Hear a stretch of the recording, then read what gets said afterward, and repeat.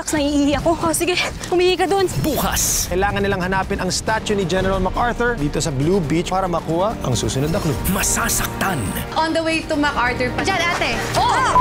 Dumudugo na yung kamay ko. magkakasakitan, Alam niyo po yung MacArthur. Saan daw tanongin mo? Puno ka puno, puno doon? Teka lang kasi! Pati ibang tao sinisigawan mo eh. Sinisigawan ko ba? Oh, huwag ka sumigaw ha! The Amazing Race Philippines Season 2. O sige, ano mag-awit tayo? O ano? O ano? Bukas, 9pm, pagkatapos ng PBA sa TV5. The Amazing Race Philippines Season 2 was powered by Rexona. It won't let you down. And sponsored in part by the following.